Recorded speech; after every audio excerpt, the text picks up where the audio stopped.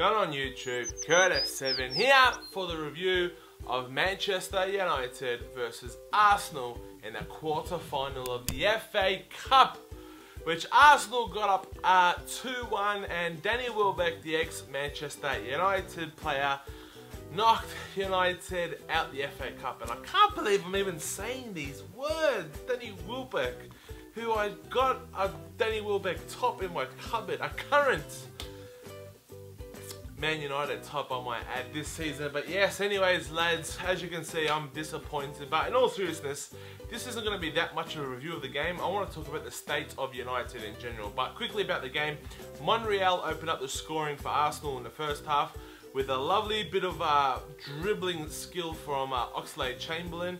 Uh, mate, he did well to get past three or four players and terrible, terrible defending. Monreal uh, couldn't really miss from there with his left foot day I couldn't do too much about that one, but literally a couple minutes later, uh, um, Angel Di Maria whips in a beautiful ball to Wayne Rooney, heads it in the goal.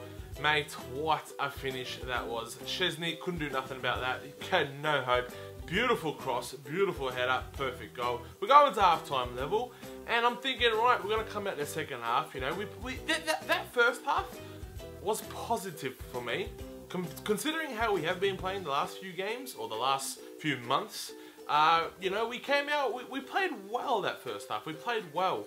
Um, second half came out and we just didn't, just didn't go for it. You know, we just like, we're just happy to pass the ball and mope around as we normally do.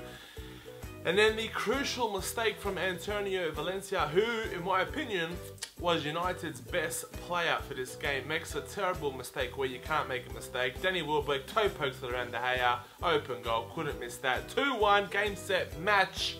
But uh, just before that, Angel Di Maria got a red card, got booked uh, a yellow card for diving, and then uh, grabbed the referee. Uh, you can't touch the referees, mate, and uh, hit him off, uh, sent him off.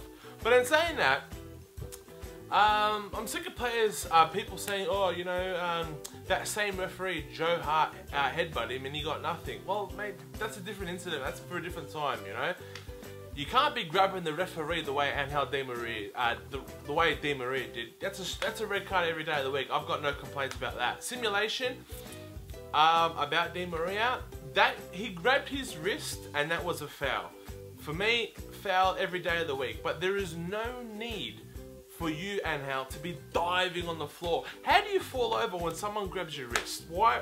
How does that make you trip up your feet? I don't know. Does my head in. Simulation, two seconds later, uh, Januzaj, who running into the box, had a bit of contact, I might add, outside the box, takes three, four steps forwards, then falls over. When he's in the box, no mate, get up. No chance. And I, and I hate diving, I'm against it, you know, but when it's happening at your own club, it's sad to see and it's nothing that you're proud of and I'm totally against it. So I'm glad they both got booked for diving. Di Maria, he just looks unsettled. He looks unsettled. Uh, Louis Van Gaal did say that we're not going to see the best of him till next season, you know, but, you know, he's the most expensive Premier League uh, player in history, you know, so... I can see a player comes unsettled. I know that. Coming from Real Madrid, the best team in the world, you know, he won the. Um, he's had a, he's had a real eventful year. Think about it. And uh, Di Maria, Champions League final, best player of the game, won the Champions League. Played in the World Cup final. Unfortunately, got a loss there. Then he's the you know the biggest transfer in history in the Premier League. Comes to United. Comes to United, has his house burgled for his family, and while he was home, you know, so that could be that could have shaken him up too. Apparently, he's struggling really really bad with English. He's just really really unsettled. I'm not saying he's going to leave, but, you know,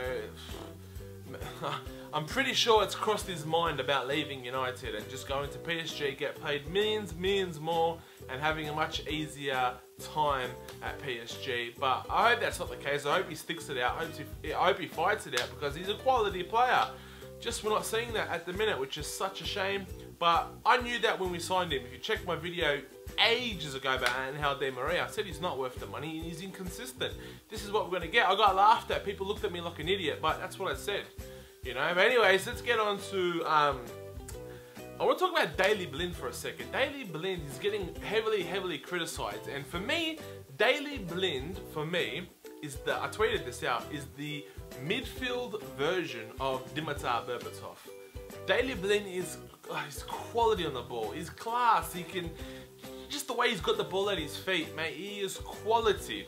But when he hasn't got the ball, my word, mate, lazy as lazy, lazy can be. He's slow, which doesn't help, doesn't run back, but you know, when he's got the ball, he's quality. So what do you do when you have someone like that in your side where you've got to get someone to pair up with him who can work 10 times faster, you know, 10 times harder. And that is what uh, Ander Herrera does. And when he got subbed off at halftime for Michael Carrick, I knew Michael Carrick wasn't going to run around and chase like Ander Herrera does. So I knew leaving um, Carrick and uh, Daley Blind was going to expose us. But what do you do? So I, I, I kind of feel for Daley Blind because it's not all his fault. There's no movement around him. There's no one to pass to forward. He's got to hold the ball longer. There's no options. We don't work hard off the ball with United.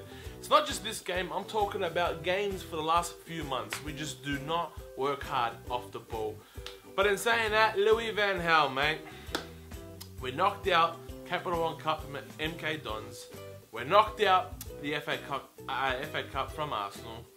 Uh, we're sitting fourth in the Premier League with all the teams around us hitting form with 10 games to go and we are at the worst form in our whole season.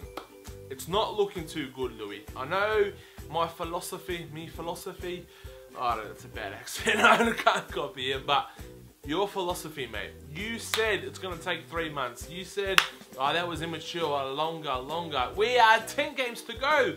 We're in March. We're halfway through March, mate. And tell you what, the reason why I'm bringing this up, because if this was David Moyes, my word, Moyes would have been sacked already. Already. And I just think it's unfair how Moyes copped all this criticism. For some reason, Louis Van Gaal is getting away with it. And Louis Van Gaal it's because, is it because he had the Great World Cup? Because at Bayern Munich he wasn't that great, you know, at Barcelona he wasn't that great, you know, he did things with Ajax, but that was 20 years ago. Why is Louis Van Gaal getting away with this? It's got to be the World Cup. It has got to be the World Cup, but I want to know from you guys, lads, if Louis Van Gaal, uh, Louis Van Gaal does not get fourth spot, should he be sacked? Get your comments down below. I'm not a happy camper. 10 games to go. We've got to work harder. I honestly, lads, I can't see us finishing top four. Can't see it. Liverpool are much better form. They're below us. Tottenham are much better form. We're playing them next week. You know, they could beat us at Old Trafford. And if that was to happen, that for me, that would confirm we're not going to make top four. But we got, you know, Arsenal again. We got City. We got uh, Chelsea, and we got Everton away. Can I? Nah, I really cannot see how we are going to get uh, top four with those games coming up. Considering the way we are playing against these lesser teams, I just I just can't see it happening. Get your comments down below. Will we get fourth spot? Will Louis Van Gaal uh, get the sack if he doesn't get fourth spot? I'm interested to know. But anyways, lads, I'm your boy Curtis7. Take care and peace.